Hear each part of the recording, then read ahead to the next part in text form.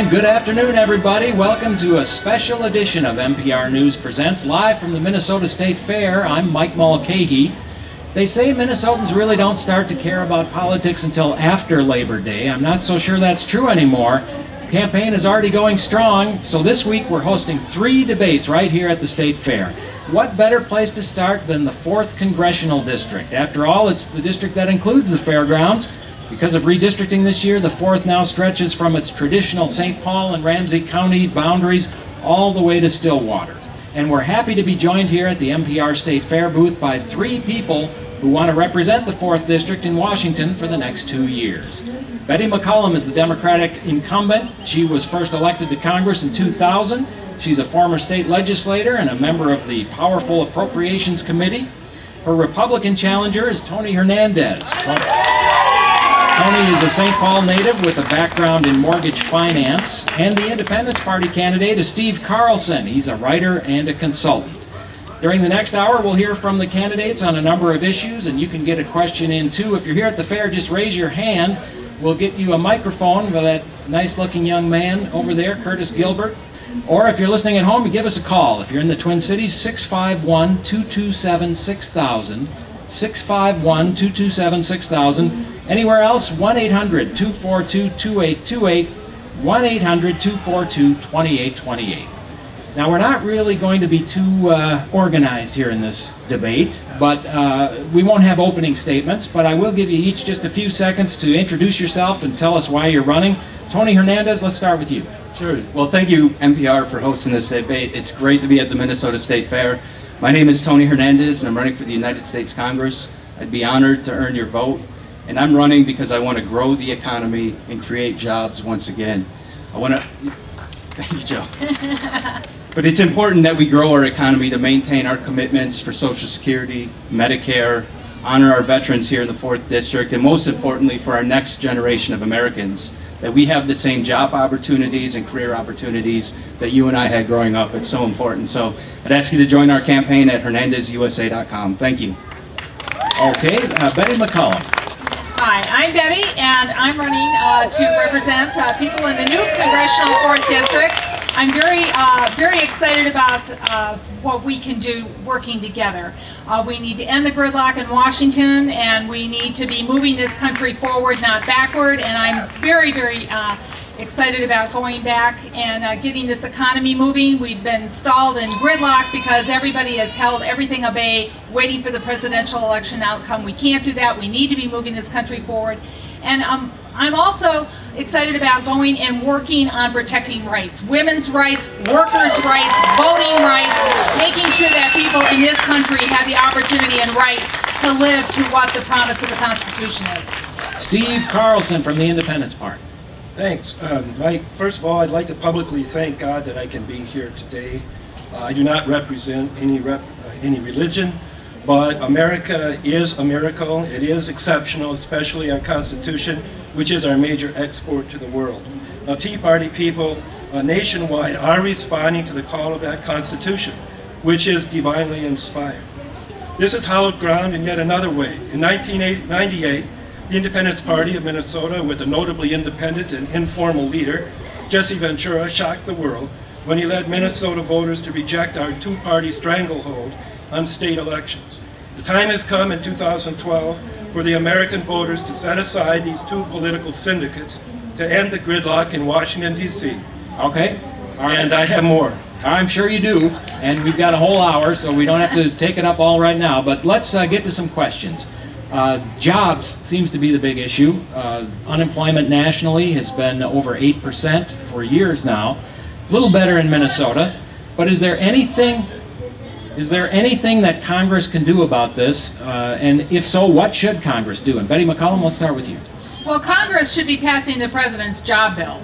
The president has laid out a plan in which to put America back to work. And we need to be investing in our infrastructure so that we are regionally competitive, so that we're nationally competitive, and so that we can be competitive in the international market. That also means reinvesting in our schools and our education and making sure that workforce training for older adults is available that's affordable, as well as working towards making sure that college and vocational schools are affordable for our students. And that's what I want to go back to co Congress and work on. Let's uh, keep in order here. Steve, what, what would you do about jobs? Well, first of all, I don't think uh, government doesn't create jobs, and the things that Betty listed really have been being tried for four years. They're not having an impact on the job situation.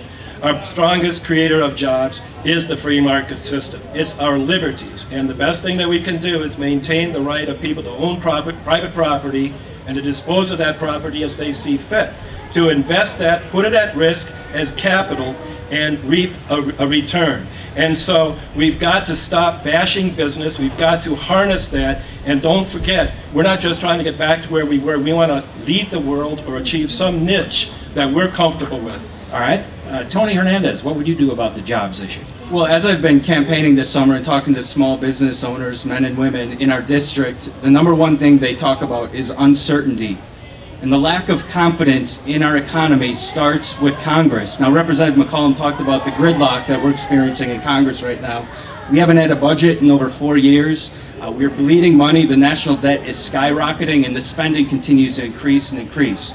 The other thing that small businessmen and women are talking about are the taxes and the regulations that are strangling their business growth. Uh, one example is the uh, excise tax and the Affordable Care Act that was placed on the me medical device industry uh, that's killing jobs right here in our state and across our country. So we need to understand that we live in a global economy nowadays, and right now our tax structure on a global level is not competing with the rest of the world. So we need to figure out a way to reform our tax structure, lower taxes, so that businesses want to come back to America in order to invest. Just wondered if you wanted to comment on that. Well, you, infrastructure in transit is a, is a partnership between business and government. Uh, having transit available to get workers to work is an important part of what I hear from many of our businesses as, as I meet with them. One of the things that, that I, I heard when I was at Guidant and some of the other businesses that I visited, MedTech visitors, is like we need to make sure that we have two things. We have transportation and transit for our employees and we have good universities, college systems, and vocational schools to train our workers. And so the government does have a role in it. It's a partnership working together with business. All right, Steve Carlson. I would like to follow up because I don't know how many of you are familiar with University Avenue and Central Corridor. Now, President Obama has said to some businesses, you didn't build that, someone else did. And that's been explained as, well, what I meant was I rebuilt the infrastructure and you didn't build it. I'm going to say to Betty McCollum and to Barack Obama, of the University Avenue businesses, you didn't build those businesses, you destroyed those businesses. You're destroying them right now with the Central Corridor and it's got to stop. That's not a partnership. Tony Hernandez a word. And I just want to follow up.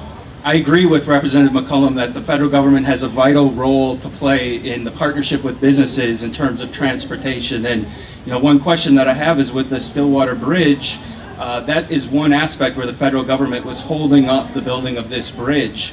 Uh, it made sense for Wisconsin, it made sense for the state of Minnesota. And the federal government's role wasn't even to fund the building of this bridge, it was simply to allow Minnesota and Wisconsin to work together to build this bridge that everybody wanted.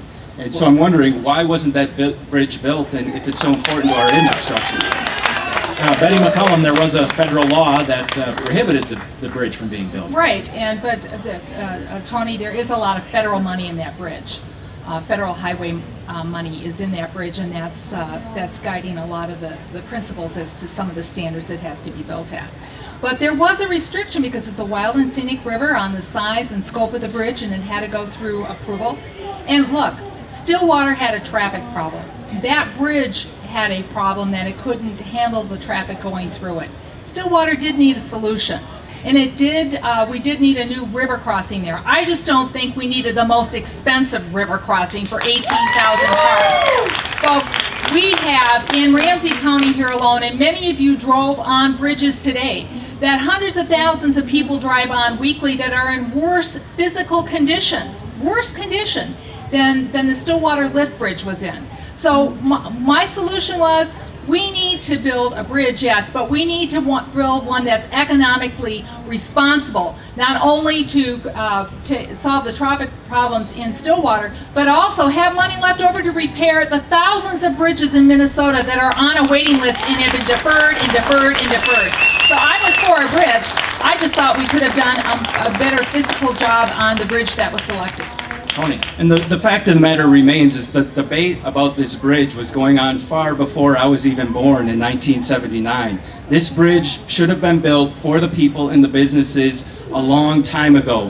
And it's a great example about how the partisanship in Congress is delaying getting things done for our economy and stalling our economy.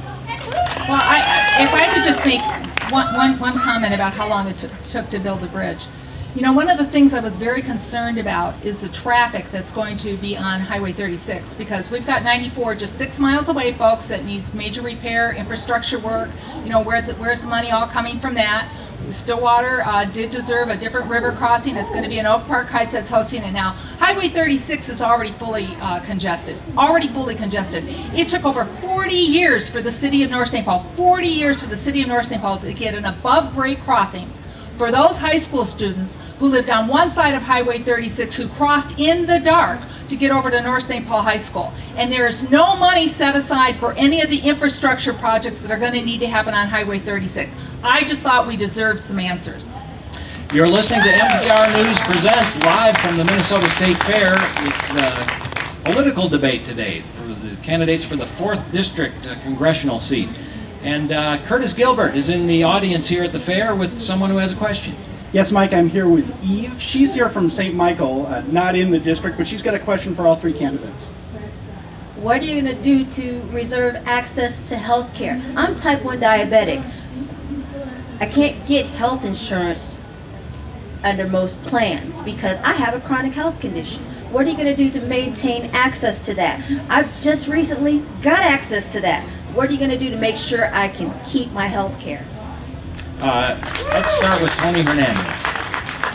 Thank you for that question. Uh, you know, I'm not somebody here that's going to talk about all the bad things about the Affordable Care Act. There were some good aspects of the bill. Now, they were very small parts of the bill compared to the entire bill. Uh, however, I do agree uh, with this idea that insurance providers can't deny coverage to somebody who has pre-existing conditions. You know, I care for the people who are sick. I want to make sure that our seniors are cared for. Uh, so I think that that's a very important point. On top of that, though, we have to look at Minnesota and be very proud about the healthcare system that we have right here within our own state. We have one of the highest coverage rates in the entire world over 90% of our Minnesota residents are covered by some type of an insurance, whether it's private insurance or public insurance. So the model that we have here is the example that the rest of our country should be following in terms of health care. I'm worried that the Affordable Care Act will not be able to provide the benefits that the politicians were telling us it was going to be able to provide for. So I think what we have in Minnesota is a good system. Does it need improvements? Yes. Do we need a, a top-down approach to fix our healthcare system here? No, I don't think so. Betty McCollum, oh, uh, okay, she's deferring to Steve Carlson from the Independence Party. What about health care? What about the Affordable Care Act? Well, if you look, in 2010 I mentioned that I had worked at the American Cancer Society for 14 months and I had focused on a thing called health disparities. Thank you, Eve, for that question. I believe that diabetes is one of those catastrophic illnesses that we need to target. And in, with the American Cancer Society, what they've got is some, is some legislation that's the National uh, uh, Cervical and, and, and, Breast Cancer uh, Early Detection Program. And what that does is it targets people who are hit with these and it gets them screening and then it gets them treatment. Now, what I have long advocated is we target killer diseases. That's where we're going to reduce health disparities. Building a big bureaucracy is not going to help cancer people. It's going to lengthen the time before they can get screened, before they can get standard treatment. The same thing with diabetes, with heart disease, with lung disease, uh, MS. There's a, there's a list that we should be targeting. You can get broad bipartisan support. The bureaucracy is just going to slow things down. It's not going to help uh, save people from diabetes. And we're about saving lives, not saving money. Thank you. Uh, Betty McCall. Well, I'm very, very happy to say, Eve, under o- the Obamacare plan, you will not be discriminated against. You will be able to go in and have the screenings and the checks that you need to have. And the American Cancer Society, the Lung Association, so many of the groups out there that are out there working in the community, trying to get people in to do the early screenings, do the early testings. We're working hand in hand with many of us in Congress to make sure we address, address those needs. But for seniors under the Affordable Care Act, uh, a little thing called a copay sometimes makes a huge difference.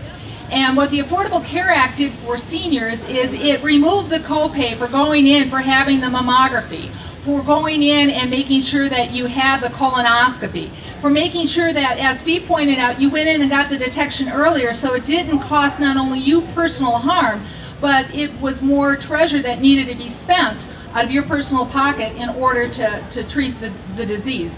So there are many wonderful things in the Affordable Care Act. Unfortunately, the Republicans never came up with a plan. They just said repeal. They never told us what they were going to replace it with.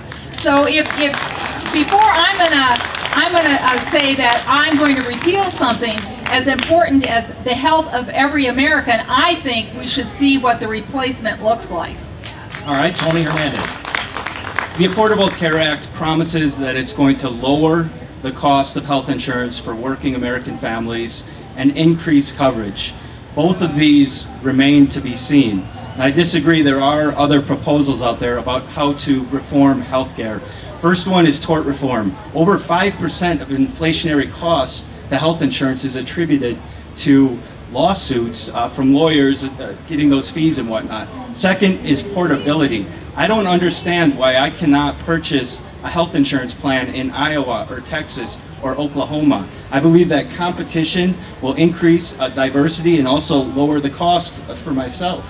And finally, and finally, let's not remember, let's not forget that the Supreme Court ruled that the Affordable Care Act is nothing but a, a, whole conglomerate of taxes. And these taxes are job killers. Right here in our own state, you have Medtronic and other employers that are talking about the hindrance that this is going to put on towards job creation. So there are alternatives out there. The problem is, is that the alternatives were smothered out of the debate.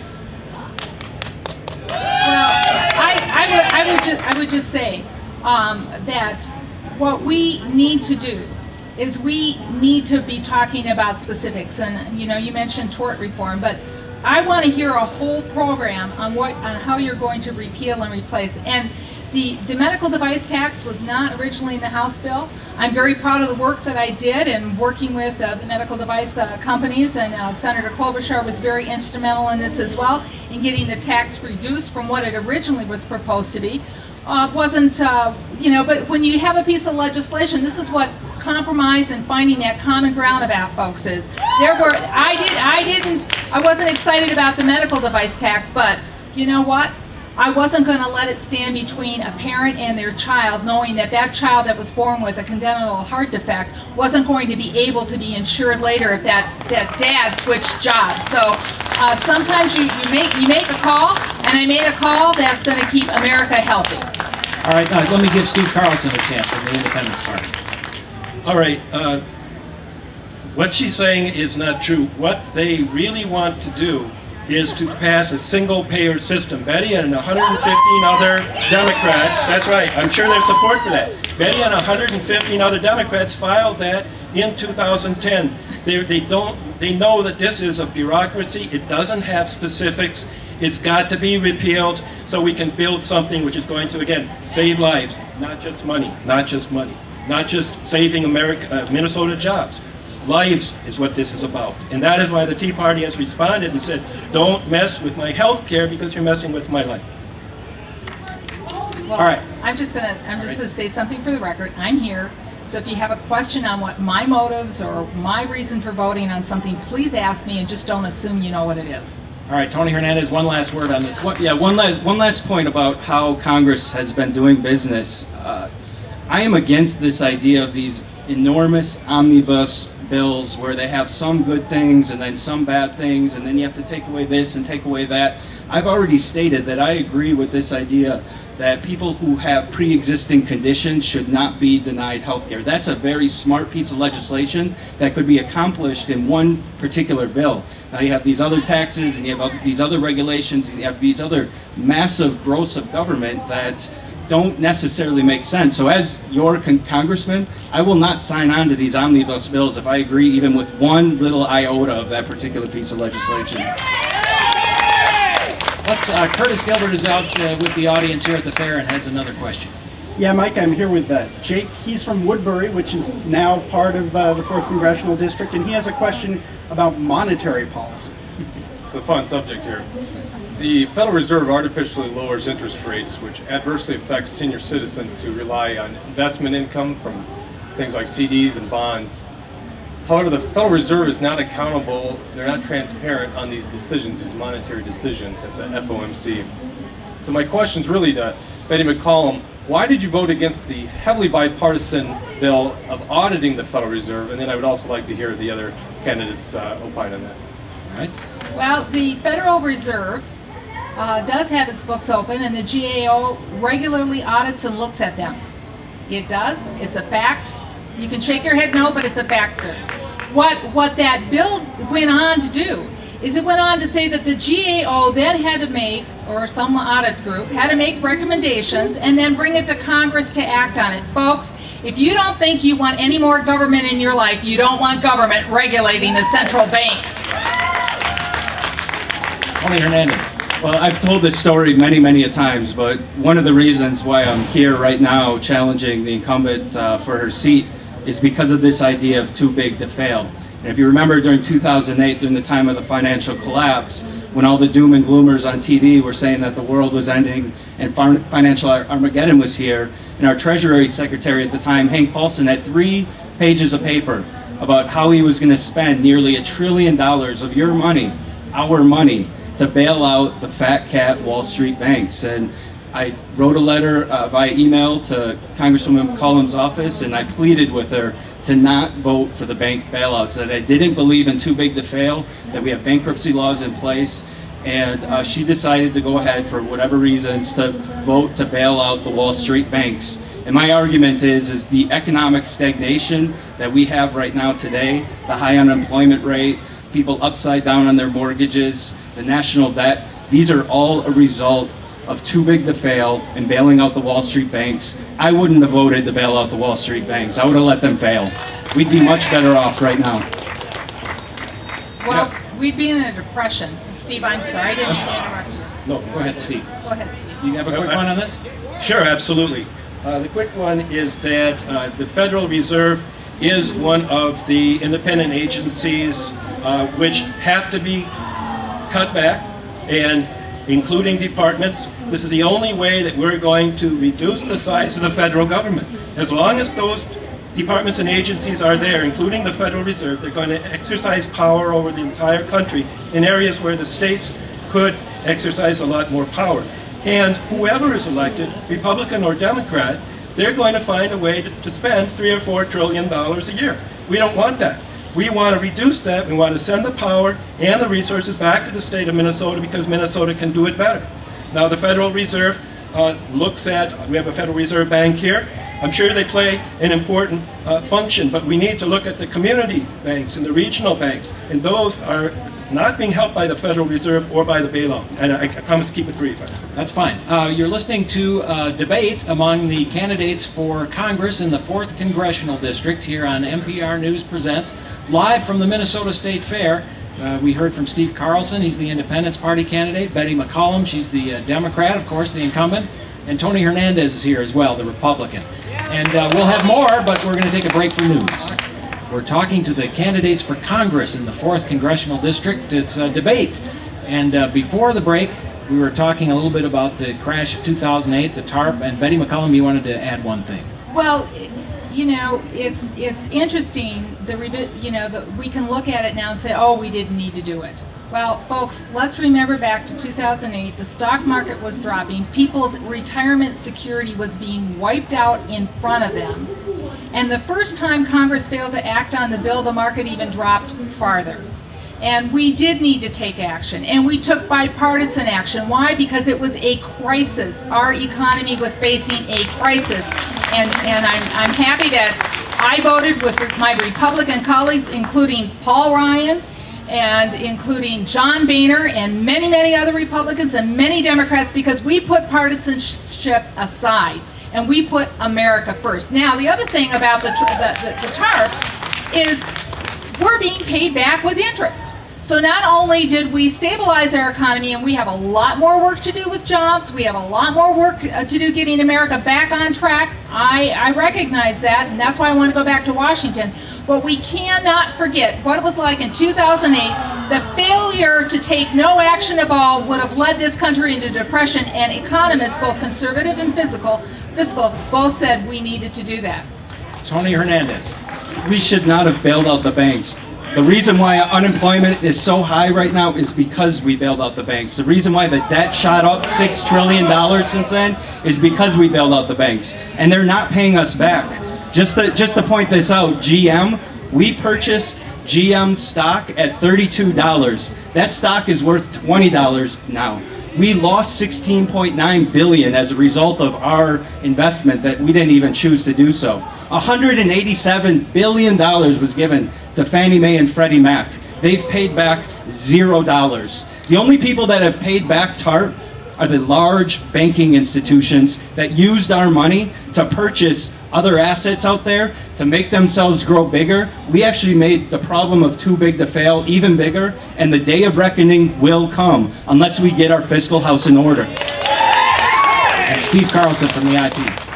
Quick comment. I, I like uh, bipartisanship, nonpartisanship, but I can't be happy with what Paul Ryan and Betty McCollum uh, voted on. This is an ongoing crisis. We can't just say who's to blame. We've got to solve this crisis. And as I've said, the only way we can do that is to reduce the federal government spending by getting rid of those unneeded uh, agencies and departments. And I recognize that Mitt Romney has said that that's what he's going to do. And I think that's what we need to do. We can't recover it from entitlements, as Ryan has said. We've got to go after discretionary spending and give the power in the state uh, back to the states and the resources. All right, I think we have a caller on the line, Melissa from St. Paul. Hi, Melissa, are you there? Go ahead.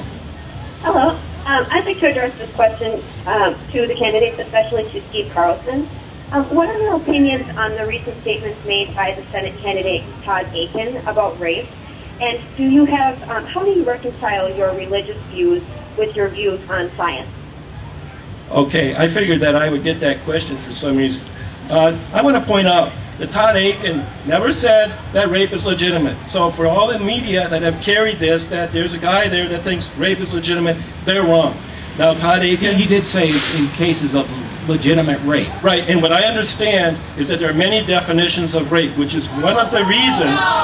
Yes, there are. They have been. Read the New York Times. Can I, can I ask you this question? Uh, there are many uh, definitions so that if you expand a uh, abortion based on rape to all of those reasons, then you're going, to, you're going to be giving away a lot of abortions which are going to violate the principles of the sacredness of human life which Todd Akin believes in. Now, do I believe in that? Yes, I believe. You tell me when life begins. Which one of you okay, can tell me? let's, uh, let's hear from the other candidates. Thank uh, What about these comments from uh, Todd Akin?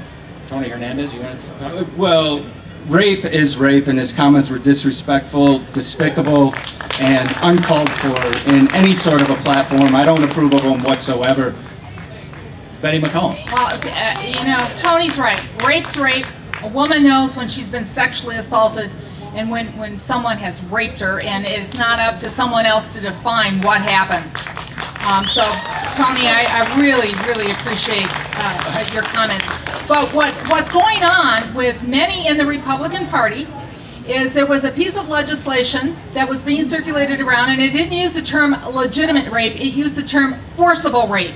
And to Tony's point, rape is rape. It's wrong under any circumstance. And for politicians to start getting in writing legislation, what's what's forcible and what's not forcible is just wrong. We need to protect a woman's right to be safe in her community and know she can go to law enforcement and know the perp will be prosecuted. Steve Carlson. That's exactly what Todd Akin said, was that you want to punish the perp. Now, this is not a political football. Rape, abortion, the death of, of, of fetuses is not a political football for the Democrats to play with. We need to respect life and we need safety and the perps should be uh, prosecuted and they should be put away. It's exactly what represented. I'm not going to run away from this like the Republicans have. I, I cannot respect them saying, oh, we want to talk about it, except they don't want to be taken off message. I understand what the Democrats will do with it. But let's think about it with the seriousness that it deserves and not make it divisive among us all. Curtis Gilbert has a, a, an audience member with a question. That's right, Mike. I'm here with David. He's from Roseville, and he's got an environmental question for the candidates. Yes, already one of you said something about we live in a global world. Well, we do live in a global world, and climate change caused by global warming is a very, very serious issue. Uh, the United States government has a lot they can do regarding the decreasing the impact of climate change. So I'd like to hear from each candidate what they are going to do to protect our climate for my grandchildren, my great-grandchildren. Thank you. Uh, and who wants to start? How about uh, Steve uh, Carlson? I have a, a, a, program which I would like to introduce to Congress. Uh, we don't want to argue about what caused global warming, but one thing we know is a terrible drought and heat that is killing our crops and really hurting our economy and it's worldwide. So what we need to do is build up our water infrastructure. We want to make sure that we can irrigate land and have adequate water supplies and it's going to be a change. I think many of those have been neglected and we should immediately do that. It should have been done already to create jobs and it's something that is really going to help us, our economy and environment as well. Uh, Betty? In the, I was, I was, uh, you know, surfing the news the other day, and I was uh, shocked because there wasn't much coverage in mainstream media. The um, ice shelf has uh, has melted at a faster rate than scientists uh, realized, and they were quite taken back by this. So climate change is real; it's it's, it's happening, and Minnesota has been a leader. And I think our country could look to Minnesota for some leadership. Minnesota believes in a portfolio that includes uh, clean energy, as well as ways in which that we invest in the jobs that the clean energy market brings. For example, wind energy in Minnesota. We don't have a lot of fossil fuels here. We're going to need a mix. Wind energy is, is a, a, way in which we can bring manufacturing jobs, bring high-tech jobs, and also reduce greenhouse gas emissions solar. There's so many opportunities of what we can do here and we can use our engineering schools and we can use the technical workers and we can use the workforce here in order to create jobs and at the same time at the same time reduce our footprint uh, to the negative for the next generation on this planet. Tony Hernandez. As somebody who's been training for the Twin Cities Marathon, I can tell you July was a hot month. um, there's two different schools of thought about climate change, whether it's being caused by humans or whether it's just a, a, normal cycle of the earth. I'm not a climate scientist. I'm not running for Congress to be a scientist. I think what the federal government can do is to promote an open and free scientific community. We have one of the best university systems in the entire world. I happen to disagree with the government becoming involved in green companies. I think that that's just another form of crony capitalism. An example of that is Solyndra. Uh, Solyndra was an epic failure. Once again, the federal government decided to back a $500 million loan of our money for this company that was promoting green energy. Well, at the end of the day, it wasn't founded on any principles. It wasn't a legitimate business. They went bankrupt and they lost all of your money. That's a, just another example of the federal government becoming involved in something that's not constitutional, that it shouldn't become involved with, and that it's ultimately just wasting money and uh, wasting our resources. Well, then I, I, I, I'm going to ask you, I'm not going to assume, um, it would sound to me then that you would be a person who would agree that we should get rid of the oil subsidies because the oil subsidies were set up at a time in this country when uh, oil production was just new and they were trying to kind of expand it and move it forward. The oil companies are doing just fine. I filled up my tank yesterday. They're doing just fine, folks. So um, if, if, you don't think we should be subsidizing and, and investing in, in, future and alternative energies and ways to reduce greenhouse gas, where, where would you be on oil company subsidies? You hit the nail on the head. We need to end the oil, oil subsidies to big oil. Absolutely. I'm in favor of tax reform, equality in the tax rate, and getting rid of this idea where the government is picking winners or losers. I think we just had a moment of bipartisan agreement. What about tripartisan agreement? Yeah, I think we can. Somebody from the audience asked when I talk about water infrastructure, does that mean more big government programs? I think water is important function for the government. But now we're getting into energy, and I think it's very important that the government not pick winners and losers. And here's the reason. Because we need, just like in healthcare, we need that energy of the market investment. We also need consumers to buy this stuff. We don't want to create, you know, nice buildings for government to spend more taxpayer money on. We want people to want to buy it in their homes. And so, tripartisan agreement. All right, I want to uh, just change the subject. Uh, Medicare has become a big issue, uh, especially since Paul Ryan uh, wound up on the Republican ticket. Uh, 10,000 uh, people age 65 every day are retiring now. It's going to be happening for the next 20 years.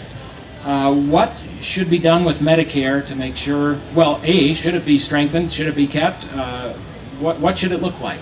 Tony Hernandez. Number one, if I'm elected to Congress, I would work to ensure that we maintain our commitments to our seniors and those nearing retirement for our Medicare and Social Security commitments. There's a lot of seniors in our district. I've been honored to meet many of them uh, campaigning.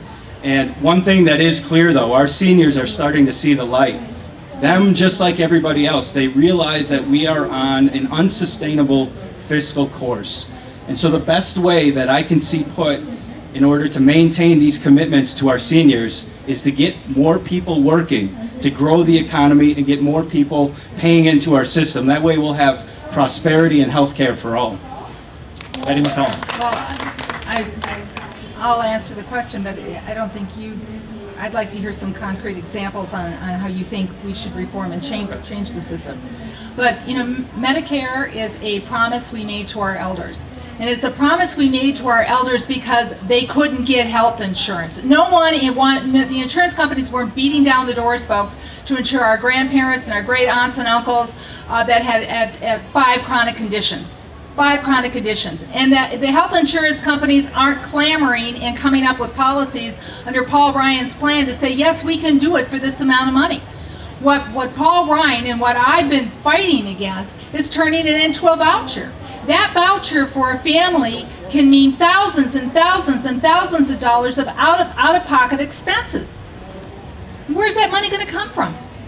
Where is that money going to come from from a senior on a fixed income?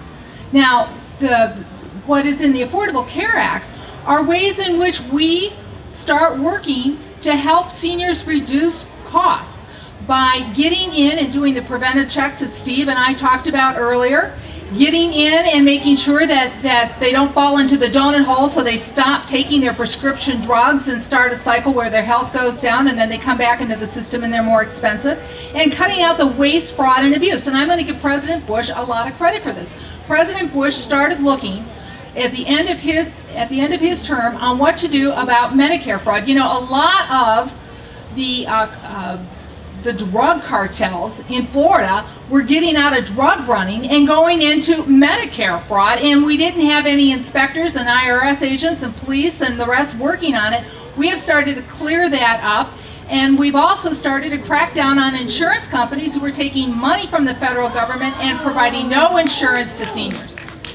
Steve, quickly on this one. What is in the uh, Obamacare is raiding uh, Medicare for $715 billion to further weaken the promise uh, to the seniors. What this question is about is how can we save Medicare, provide for future generations, how can we maintain trust in government when these people have paid in, and like Betty said, this isn't something that can be easily solved through uh, working with health insurance companies, and how uh, how committed is America to aging with dignity?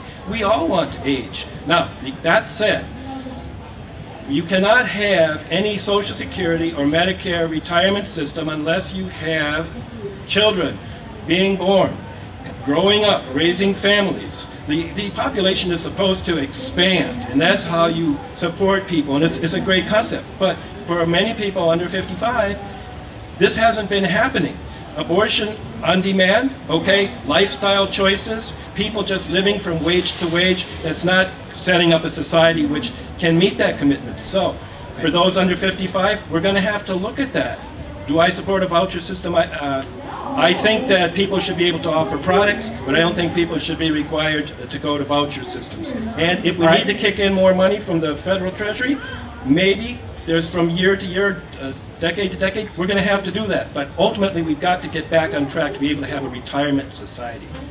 Tony Hernandez. Uh, just to answer Representative McCollum's question, uh, means testing I think is a very smart reform that we can initiate. I've talked to many seniors that are very well off, that have a, a nice pension, they have millions of dollars in assets. We don't need to give them the full Medicare benefits that a senior who has less money and less resources would perhaps need in order to survive. So that's just one area I think that would make a lot of sense. Eventually, we may need to talk about increasing the age as well. What about the Ryan plan, though, uh, to go for people 55 and under with a voucher system in addition to traditional Medicare?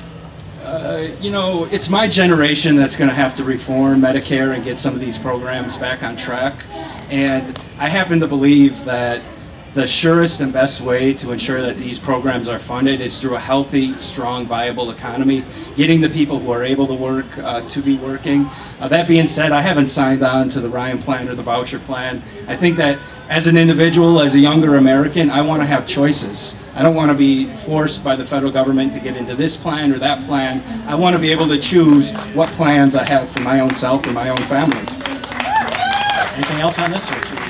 Let's take a question from the audience with Curtis Gill. Yeah, Mike, I'm here with Tim from Shoreview, and he's got a question for all three candidates. Yes, when the uh, president was campaigning, he promised that if the deficit were not lower at the end of his first term, that he would be a, a one-term president. Well, the deficit is $4 trillion higher. So my question to you is, will you be asking the president to keep his word? I'm supporting President Obama, and the reason the reason why we haven't been able to be as successful as we could be in this country is far too many people in Congress. And I'll, I'll, it's public record. Mitch McConnell, the leader, the Republican leader in the Senate, said at, at the beginning of the session, he said, "You know what?" He said, "I'm going to do everything in my power to make sure that President Obama doesn't succeed." That is not the, that is not what the U.S. Senate should be about. The U.S. House should be about. We should be about working together and putting the American people first. I'm proud to support President Obama. Well, let's not let's not forget that when President Obama was elected in 2009 and 2010 and parts of 2011, the Democratic Party had a super majority. They had the House, they had the Senate, and they had the presidency. They still didn't get anything done except to borrow more money, spend more money, and not produce a budget. So part of the responsibility lies within the Congress that you had a majority in.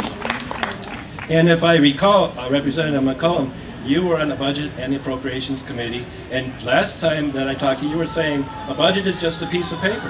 And so how, how are you going to uh, meet the goals that, the promises that President Obama made when you're not even going to pass the budget? And, and I know this came out of the Senate, and they're wrong too. Uh, you can't blame Congress for this. You have to blame the ideology of irresponsibility that they're not going to address these concerns. This isn't President Obama's issue. This is American people's issue, and we need to Okay, work let's- together. let's I hear would. from Congresswoman McCollum. Well, the House of Representatives passed the Ryan budget. They passed a budget. It's sitting over in the Senate. Um, uh, I did vote for the Ryan budget. The Ryan budget does nothing to uh, to move this country forward. It only protected uh, tax cuts for the most wealthy. We couldn't even get an agreement when, when, when, when Democrats said, you know, let's come together. The president's willing to sign middle tax uh, middle class tax cuts now. Let's let's take that off the table. Let's give some certainty to families. Let's give some certainty out there to American families that they will know what their their future is uh, for their their child to be able to go to college, for being able to afford daycare, for knowing how to balance their budget. And the Republicans said no. They said if we can't have all of the tax cuts and the tax cuts for the upper 1%, which by the way is borrowed money from China, uh, that we couldn't have the middle tax class cuts. I'm ready to vote to put the middle tax class tax cuts on the table and provide middle class families that kind of certainty. But I did not vote for the Ryan budget. Tony Hernandez. That's not exactly true that the Ryan budget only kept the tax reductions for the richest Americans. In fact, the budget kept the tax cuts uh, available for the middle class, the upper middle class, and the extremely rich. So that's just a, a point in error right there. But well, let me just bring up this question since you raised it. Uh, the, the country is facing what uh, some are calling the fiscal cliff at the end of the year because the tax cuts are going to all expire and the taxes will go up, and there are these automatic spending cuts that are going to take effect. How would you, if you're uh, in Congress, how would you work to prevent that from happening, or would you? Uh, Tony, start with you. Sure. Well, I think it's a huge issue. This fiscal cliff, as people call it, uh, is a huge tax increase for the middle class. Your average middle class family will see their federal income tax increase between two and four thousand dollars annually. We cannot afford that type of a tax increase right now. It's a job killer. Um, how are we going to work together to get our, our fiscal uh, house in order? Well, I think we need to work as Democrats, Republicans, and Independents to find ways to A, increase revenues to the state, B, get more people working, and C, find ways to responsibly reduce spending. And I got a couple ideas for that, uh, how we could save uh, hundreds of billions of dollars right off the bat. So, uh, Betty McCollum, what about the fiscal cliff? The fiscal cliff, uh, you know, we shouldn't, we shouldn't be in this position. We should not be there we should be having a discussion as President Obama is starting to have with John Boehner about putting everything on the table. Tax reform as well as smart cuts. But when, when uh, Speaker Boehner went back to his caucus, the Republican Tea Party element in his caucus said, stop, stop, stop, we're only doing cuts, we're not going to have um, any anything to do with putting tax policy on the table. That's what's caused the gridlock. That's wrong. We should be sitting at the table, all of us together, solving this problem. It needs to be a combination of revenues and cuts, and we need to do smart cuts, and we need to invest wisely. Steve Carlson from that. That is spin. Uh, what we are arguing about is people who are making $250,000 who are paying 36% federal income tax. For some reason, if they don't pay 39%, all of a sudden we're going to go off a fiscal cliff. Uh, we want more people making $250,000 and paying 36%. We don't want to start uh, telling people, don't invest, don't, you know, uh, it's not going to help families if we bash business and people conclude, I don't dare invest in this environment. I don't know what this ideological, polarized, a polarizer Obama and his party are up to, and we need to straighten it out, okay. get some stability back in the system. Okay, I'm getting the two-minute warning, so we have one more question from the audience. We'll have to be quick. Go ahead, Curtis. Uh, yes, I'm here with John from Maplewood, and this is a good one for everybody. Uh, yes, um, appreciate the, uh, the debate. Uh, I've seen in the, in the audience here a bit of a microcosm. People cheering their candidates and booing and shouting down the opponents. What are we going to do to restore respect and civility to the public debate? All right, and I'll have to ask the candidates to be quick on this one. Tony. Well, if you go to our website at hernandezusa.com, one of my first issues is term limits. You know, I disagree with this idea of career politicians. America is full of talented individuals, business leaders, community leaders. Let's get new people into Congress. Part of the gridlock that we're experiencing in the extreme partisanship is because we've been voting in the same people year after year after year. How do you expect okay. anything to change? Betty McCollum. Civility in, in government starts with civility in society. And one of the things that I'm very concerned about is all the big money the hidden money that's starting to come in, all the negative ads, and no one and no one's responsible for them. You don't know who they're from, and it's lowering the discourse. And so I thank MPR for hosting this debate. Thank you, and Steve Carlson. I thank you as as well. Uh, if you look at my website, it's uh, stevecarlsonforcongress2010.com. Uh, you will see that I call for a national unity party, an American community party. We are one. And we can see this today. We need to get something other than the Democrat or Republican syndicate in Washington to continue spending money. And we've got to, we've got to get somebody who's going to break that gridlock. All right. And I will break that gridlock. All right, let's have a big round of applause for all our candidates. Steve Carlson from the Independence Party, Betty McCollum, the DFL incumbent, and Tony Hernandez, the Republican candidate. And I want to thank everybody here at the fair and everybody for listening in. Remind you to join us tomorrow at noon. We'll hear from the candidates for Congress in the 5th District. And then on Thursday, we'll have Senator Amy Klobuchar and her Republican opponent, Kurt Bills. Thanks so much for listening. I'm Mike Mulcahy, live from the State Fair. Lakes, parks, the arts, food on a stick. Things that make Minnesota great. Know what else makes Minnesota great?